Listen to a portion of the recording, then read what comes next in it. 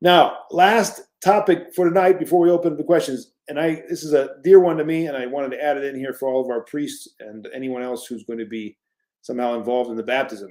How do we baptize babies?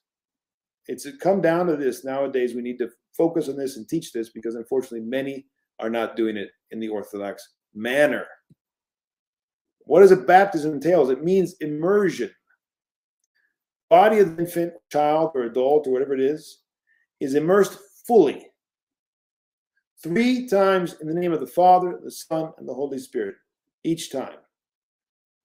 By an Orthodox priest and not sprinkled or water poured over the head. That's not how it's done in the patristic Orthodox way, right?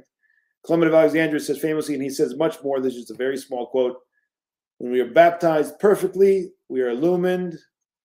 Illumined, we are we will be adopted. Adopted, we will finish, and finished, we are immortal. Anyway, there's much more to the quote. I probably should give it in the whole quote. But the point here is that it matters. It matters that we keep the proper baptism. Now that's that's how you do a child. How, how about an adult? These are some of the pictures of how adults should be properly baptized.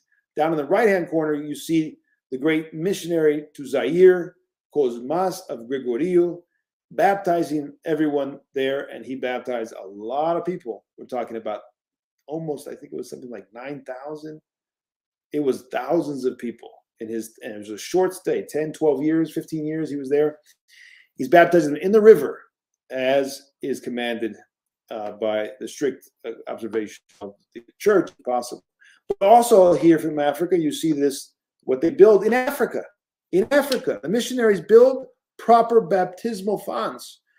In North America, in Australia, in Canada, in the UK, why can't we build and have proper baptismal fonts? Why is that not a priority in our parishes? Why can they do it in Africa, but we can't get it together? And there are many pictures of Africans being baptized in such a font in the form of a cross.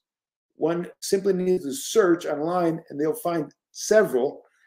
And there's many more in the Greek language. I've seen them myself in the various journals. And that's how you baptize properly. Here is Father Eustine from Utah, here on the left, baptizing in the middle of his parish there. He's got a huge horse trough, and that woman is going to be totally immersed. So you might say, well, Father, don't be legalistic. No, no, no, no, no you you if you if if I said to you, well, let's do divine liturgy with some grape juice and crackers, and you said, no, no, no, Father, that's not right.